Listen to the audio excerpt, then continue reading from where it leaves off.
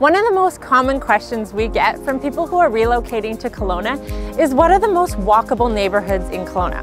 Now there are four or five neighborhoods that do offer that lifestyle where you can walk to a restaurant, get your groceries, grab a coffee and get to know your neighbors.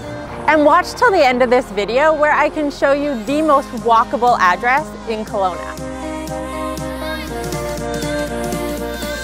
I'm gonna need a coffee.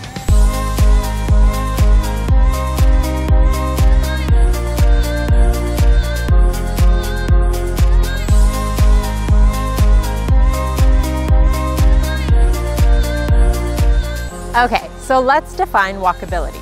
I think most people would define it as being able to live, work, and play in close proximity to their home.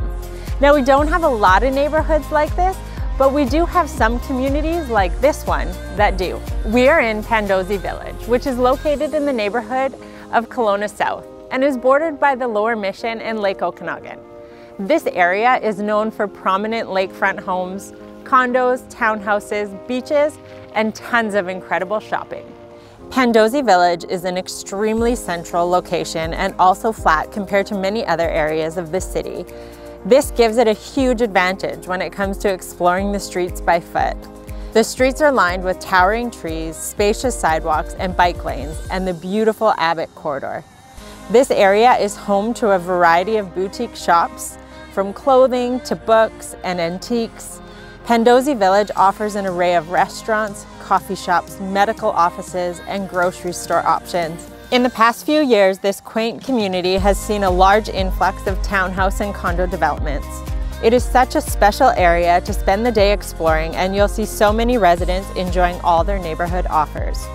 On the north end of the city, you'll find the downtown. This is in the neighborhood of Kelowna North, and this area puts you in the center of it all. It's bordered by Knox Mountain Park and Lake Okanagan and has all the amenities you could need. This area is nestled within the city's brewery and cultural district and offers shopping, dining, and nightlife. Downtown is highly pedestrian friendly. There are sidewalks and bike lanes along every street and no matter where you're standing, you are guaranteed to be a short walk away from a local restaurant, coffee shop, boutique shopping, and entertainment. My favorite way to enjoy this area is during the summer months when they shut down traffic on Bernard Avenue and make it completely pedestrian friendly with larger patios, vendors, games, and ways for people to be out taking in the lifestyle the downtown core offers. Next up on our list is the area of Springfield and Spall. This is one of the major core areas in Kelowna and offers the majority of Kelowna's shopping and big box stores.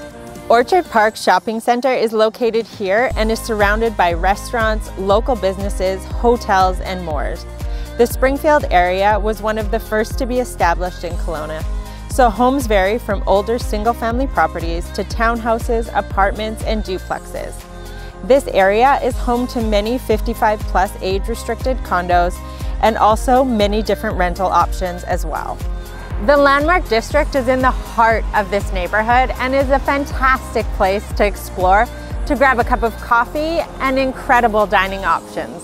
Both Springfield and Spall Road are two major routes in Kelowna, so bike lanes and sidewalks are available. This area is also where you'll find Kelowna's Outdoor Farmers Market as it runs outdoors from April through October.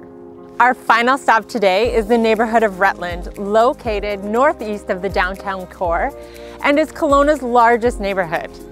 Now, Rutland used to be its own municipality until it amalgamated with the city of Kelowna in 1973. This community is one that offers some of Kelowna's most affordable homes, ranging from condos, townhouses, duplex, multifamily homes, and detached houses. Rutland offers some of Kelowna's top-rated parks and playgrounds, as well as Kelowna's family YMCA. Rutland is home to over two dozen parks, and a top runner is Ben Lee Park. It spans over eight hectares and includes an accessible park, splash park, sports court, skate park, and ample green spaces to enjoy a stroll or a summer picnic. Over the years, Rutland has become one of the most densely populated areas in Kelowna and has a thriving business center bursting with all your necessities. Rutland is also home to some of Kelowna's most delicious and diverse restaurants. Rutland is one of the highest ranked when it comes to walkability, But in addition to that, it also has great transit options. So what is Kelowna's most walkable address? Well, based on our criteria, that rings in with Brooklyn. With a walkability score of 98, this condo complex offers you everything at your fingertips. And so we don't really have a true walkable neighborhood here in Kelowna in comparison to living in some other big centers like Toronto or Vancouver. However, we do have some great options that we've shown you here today. And so if you're looking to buy or sell a home in the Kelowna area, or maybe you want to know a little bit more about the communities we've looked at today, please reach out. You can find me online at kelownahomes.com or my contact information is listed below. See ya in the next video.